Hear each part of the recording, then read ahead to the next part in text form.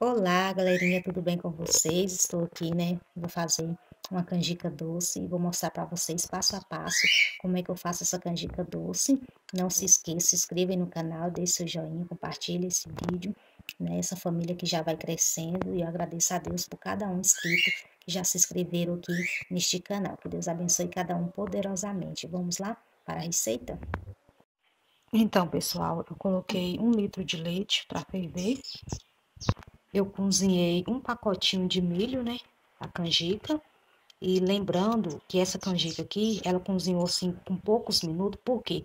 Porque um dia antes eu coloquei de molho. Coloquei água no, no milho, né? Na canjica, para ficar mais mole é, no outro dia. Igual eu deixei ontem, né? E vim cozinhar hoje, para ele ficar mole, não gastar muito gás.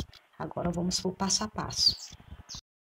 Então, galerinha, o leite já ferveu. Eu coloquei a panela aqui eu vou precisar de uma caixinha de leite condensado e uma caixinha de creme de leite e uma xícara de açúcar.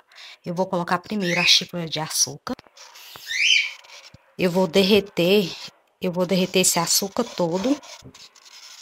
Assim que esse açúcar todo derreter, eu vou colocar o leite.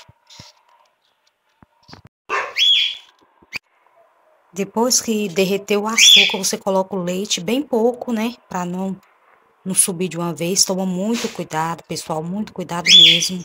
Aí você vai mexendo até ferver.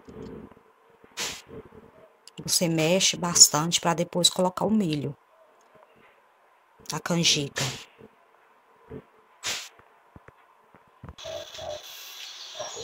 Vai ficar um pouquinho de açúcar no fundo, mas isso aqui tudo vai ser derretido, viu? Quando vocês fazem aí, vai ficar um pouquinho de açúcar ó, mas como vai fervendo, o açúcar embaixo vai amolecendo, viu? Vai desfazendo.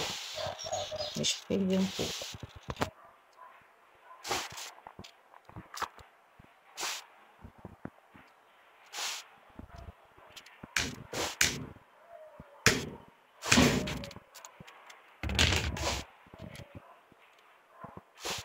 Agora você vem e mexe.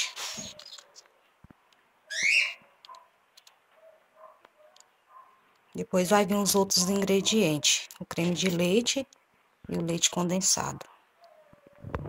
Agora vem e coloca a caixinha de leite, creme de leite. Pode colocar tudo. Agora você mexe bem. E deixa ferver um pouquinho também.